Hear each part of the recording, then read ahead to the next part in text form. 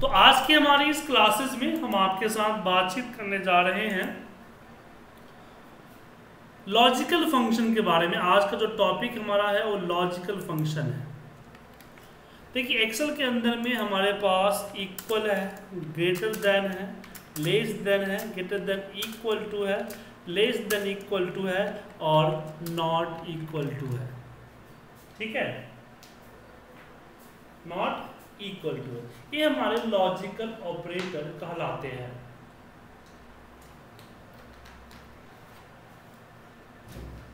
इसकी मदद से क्या कर सकते हैं हम? जैसे यहाँ पे कुछ नंबर्स हैं, मुझे जस्ट चेक करने हैं कि सारे नंबर्स ग्रेटर देन 50 है या नहीं है। जैसे मुझे चेक करना है। इसके लिए आप क्या करें? इसको सेलेक्ट करके ग्रेटर दैन 50 करके एंटर प्रेस करें। आपको रिज़ल्ट यहाँ पे ट्रू एंड फॉल्स में आएगा। जी हाँ ट्रू एंड फॉल्स में आएगा। लेकिन जनरली लोग कहते हैं कि हम इस इस तरह की चीज़ें तो इफ़ फॉर्मूला के साथ करते हैं। देखिए इफ़ फॉर्मूला आपको क्या करता है कि ट्रू एंड फॉल्स को अपने रिज़ल्ट में कन्वर्ट करता है। जैसे कि मान लीजिए मुझे अगर 50 से बड़ा हो तो ओके अदरवाइज़ पेंडिंग करना है तो। तो यहाँ हम देंगे फॉर्मूला इफ़ और इसको सिलेक्ट करेंगे और बोलेंगे कि यहाँ इफ़ ट्रू को सिलेक्ट कर लिया, फिर मैं यहाँ दे रहा हूँ ओके और फिर कॉमा करता हूँ pending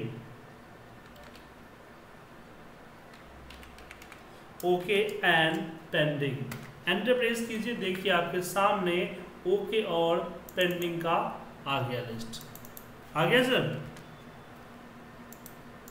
हेलो विनोद जी?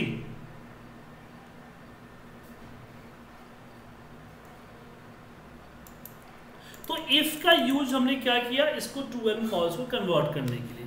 लेकिन क्या होता है कि लोग डायरेक्ट लिख देते हैं। अब यहीं पे कर देते हैं इफ़ इसको सेलेक्ट किया ग्रेटर देन 50 अगर है तो ओके अदरवाइज़ पेंडिंग तो यहाँ जो हमने ग्रेटर देन 50 कर दिया इसका मतलब ये नहीं है कि इफ़ का पार्ट है ये इंडिविजुअल है। इफ़ का पार्ट नहीं है ये इंडिविजुअल है। Yes yes.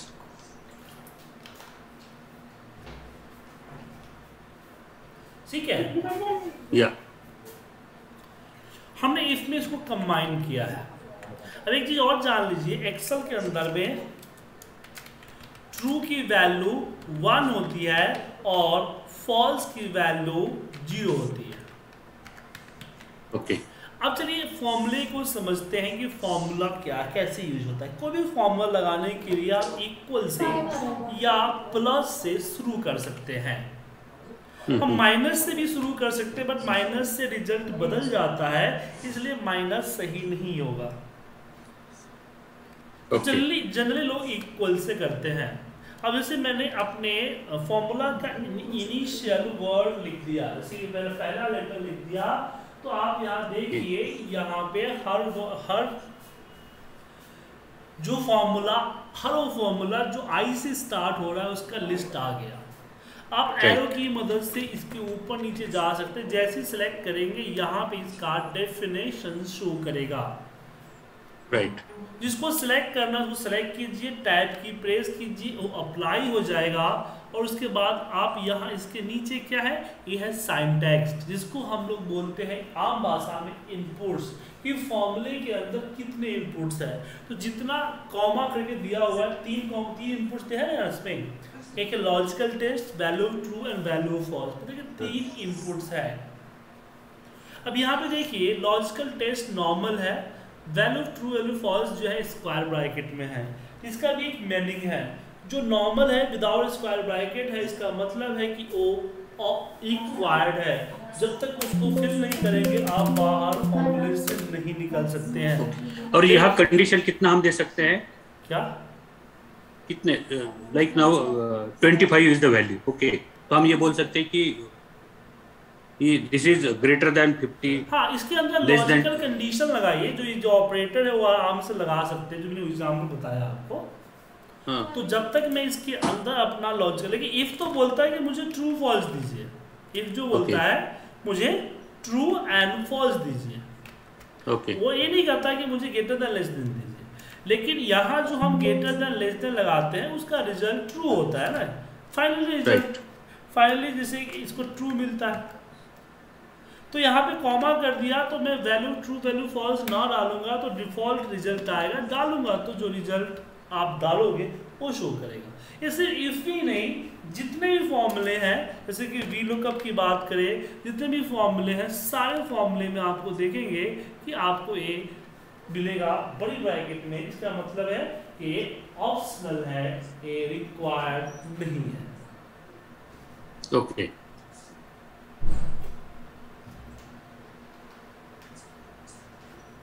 अब चलिए इसमें आगे बढ़ते हैं। अब हम इफ़ के कुछ एग्ज़ाम्पल देखते हैं। छोटे छोटे एग्ज़ाम्पल अब इफ़ को देखते हैं। जैसे कि मैंने यहाँ पे नेम डाल दिया और यहाँ पे मैंने डाल दी क्वांटिटी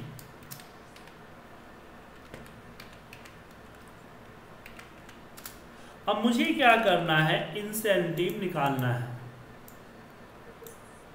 इंसेंटिव निकालना है। तो रूल एक हाँ इसी को लीजिए चलिए मुझे इसमें इंसेंटिव निकालना है। तो जो हमारा, यहाँ पे जो ग्रेटर देन 60 है, उसको मल्टीप्लाई करना है फोर्टी से।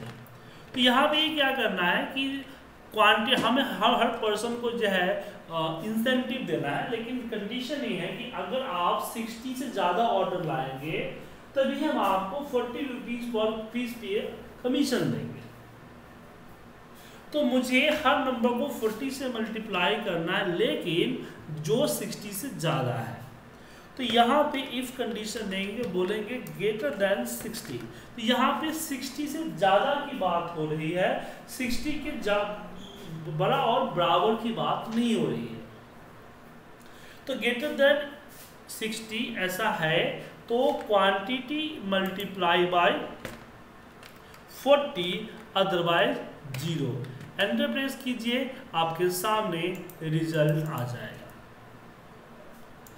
तो ये समझ में आया Vinod ji? Okay it means b2 b2 b2 is uh, less than 60 and uh, b2 is greater than b2 60 into तो 40 b2 is greater than हाँ, 60 तो b, b greater than 60 b if B2 B2 is greater than 60 and then B2 B2 into by 40 otherwise तो zero ये ये formula में समझा नहीं actually so simple है अगर b2 greater than 60 है then b2 को हम्म। 40 से मल्टीप्लाई करके रिज़ल्ट शो करना है ओके बट इसमें हमने इन्वर्टर कॉमा नहीं दिया ना इसलिए मैं बोल नहीं इन्वर्टेड कॉमा यहाँ नहीं पड़ेगा। इन्वर्टेड कॉमा पड़ता है सिर्फ़ टेक्स्ट में। ओके टेक्स्ट के अलावा किसी में नहीं। Okay. जब भी आप कोई टेक्स्ट Okay. लिखेंगे राम से राम यहाँ जो भी लिखना है आपको जो एक टेक्स्ट है कोई फॉर्मूला नहीं है कोई रेफरेंस नहीं है उसको हमें इन्वर्टेड कॉमा में डालना होगा। इसके अलावा किसी भी तरह की कैलकुलेशन नंबर ये इन चीज़ों को हम डायरेक्ट डालेंगे। अगर मैंने अच्छा दूसरा ये टेक्स्ट में सर दूसरा एक टेक्स्ट में अभी समझो शीट नंबर वन पे जाइए। हाँ, यहाँ अगर हमें रिज़ल्ट देखना है कि समझो ओके और पेंडिंग हम्म। पेंडिंग मुझे रेड में दिखाना है और ओके मुझे ग्रीन में दिखाना है। इसके लिए तो आप कंडीशनल फॉर्मेटिंग इस्तेमाल करेंगे ना। फॉर्मूला तो रिज़ल्ट अच्छा ओके देगा ना। तो ओके ओके हाँ। इसके लिए तो आपको फॉर्मेटिंग पार्ट है जो कि मैंने कराया हुआ है आपको। ओके। चलिए। ठीक है आगे बढ़े। ओके या। चलिए।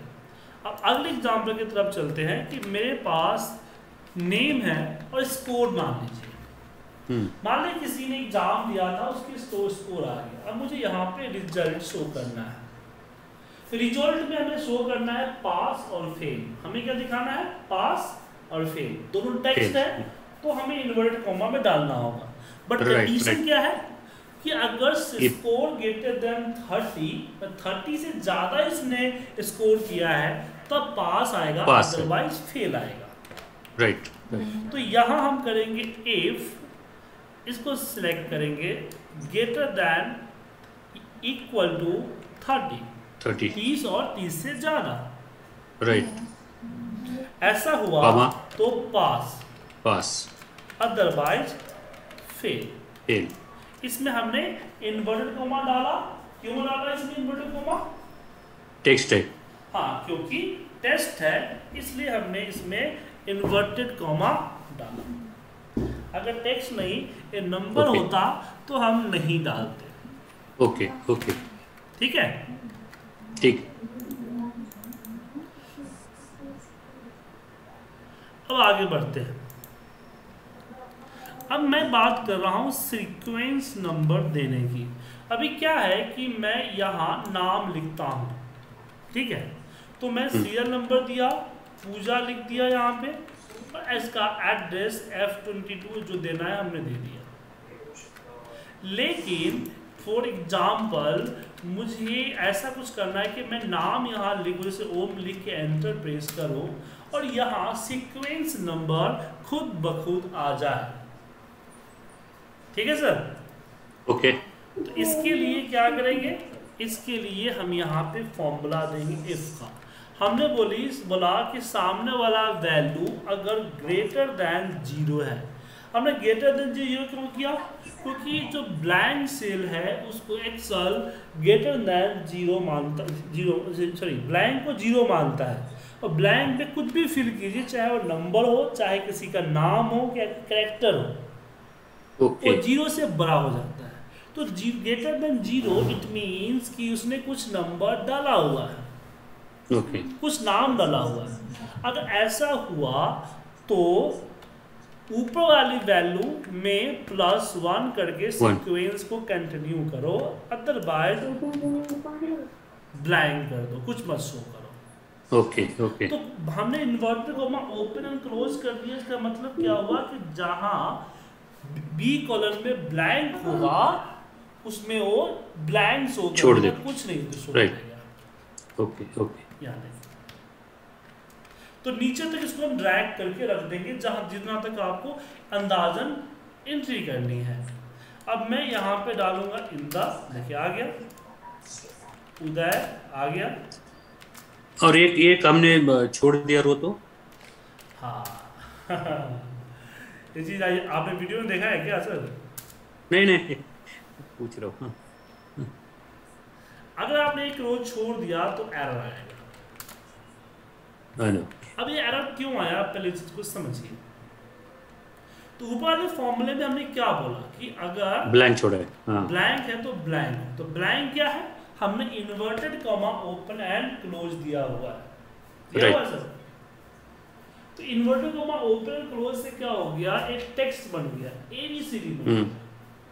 और जब Right, नीचे right. जब नीचे क्या हुआ कि जब इसने इसमें प्लस किया तो एबीसीडी में प्लस वन नहीं करेगा एक्सेल एक्सेल सीधे बोलता है कि आपका सेल अगर टेक्स्ट फॉर्मेट में है भले ही ब्लैंक क्यों ना हो पर टेक्स्ट है तो मैं इसको शो नहीं करूँगा। मैं कैलकुलेशन नहीं करूँगा एरर दूँगा। ओके ओके ऐसा कुछ करना चाहिए जिससे हमारा टेक्स्ट का इफ़ेक्ट ना हो। तो हमारे पास एक मैक्स का फॉर्मूला होता है जो कि अपने रेंज में से मैक्सिमम नंबर निकाल के देता है।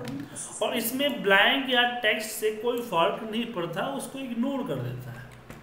ओके तो मैं यहाँ क्या करूँगा? जो हमने ए टू प्लस वन किया है इसमें मैं करूँगा मैक्स का फॉर्मूला मैक्स अब मैक्स में मैं पूरा कॉलम तो दे नहीं सकता।